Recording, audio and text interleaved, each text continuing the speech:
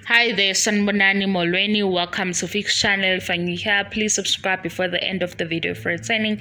Thank you for your love and support. I appreciate you. Namhlanje sizongcoma umakhumalo umakampilo wenza izinto ezinhle wenza umsebenzi omkhulu.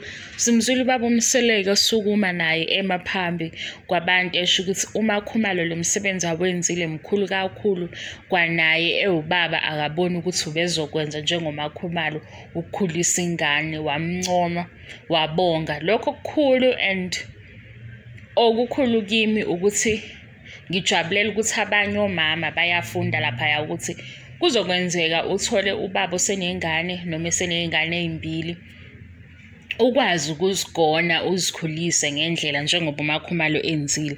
Hhayi-ke bazalwane ayikho into eningi. Ukuzoncoma nje ukuthi umakhumalo umama omuhle ngaphandle nangaphakathi umsebenzi awenzile ngompilo noma lokhu akwenzayo angazi ukuthi ngakuchaza kanjani. Namagama amaningi anginawo.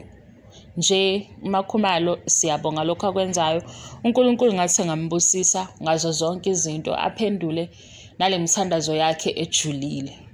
Hhayi-ke bazalwane angiyona ile video kodwa ngiyafuna ukudlula la ngoba phela hhayi okokunye ngiyabona ukuthi anizilaleli izinto engizishoyo umuntu agqumele ukuthi uzokhomenta. Kwividiyo le esiyenzile before le ngomakhumalo bengibala ukuthi indlela esikhula ngayo iyasiphazamisa phambili uma sesikuma-boardrooms. Uthola ukuthi wena ekhaya watshela ukuthi ungambheki umuntu omdala emehlweni ungambizi ngegama lokho nje kokubheka phansi ube umuntu onamahloni. Uthole ukuthi manje sekuwukwi-space la okufuneka ube umuntu obold ube umuntu okhulumela phezulu. Lezo zinto ziyakuhlula ngoba ukhule kanjalo.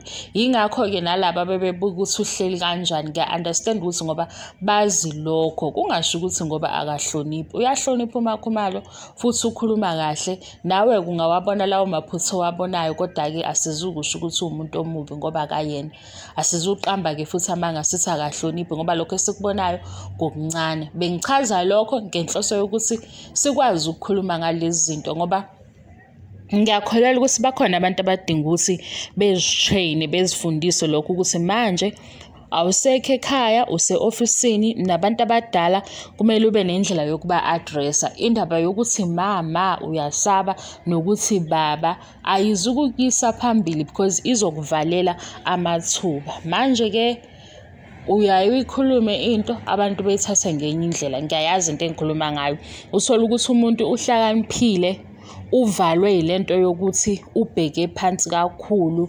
Omunye ugcine sesalele emuva bengichaza lokho.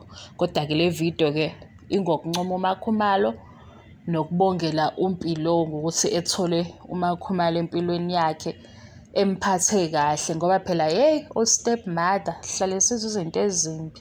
Nje kuhle kakhulu lokho kwenziwa umakhumalo futhi kuvele nabanye osisi bekubona nakunina-ke zithandwa zami enibuyayo la ngiyabonga kakhulu ngesikhathi senu ngiyabonga support yenu.